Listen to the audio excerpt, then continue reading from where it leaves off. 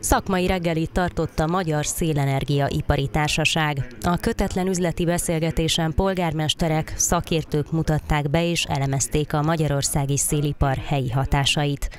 Az elmúlt öt évben több mint 2,5 milliárd forint helyi adóbevételtől estek el az önkormányzatok, mert a döntéshozók 2006 óta blokkolják a szélipar fejlődését. Úgy gondolom, hogy ez összetett kérdés, hiszen logikai érvek mentén nem nagyon lehet megmagyarázni, hogy miért nincsenek új engedélyek.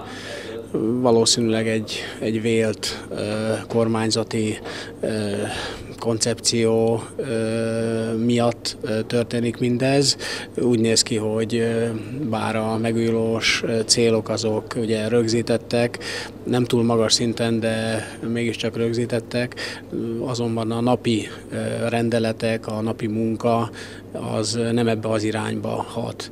Igazából úgy gondolom, hogy, való, hogy nem akarja annyira a jelenlegi kormányzatot, mondhatjuk így, hogy 2006 óta kormányon levő levők, hogy nagy mennyiségben tényleg legyen megújuló és főleg szélerőmű Magyarországon, hát más irányba gondolkodnak, azt jól látjuk, hogy paksi bővítés, stb. stb. azok prioritást élveznek. A befektetők azonban jönnének Magyarországra, és már 2014-ben bevételt termelő beruházásokat működtetnének, ha erre meg lenne a politikai zöld lámpa.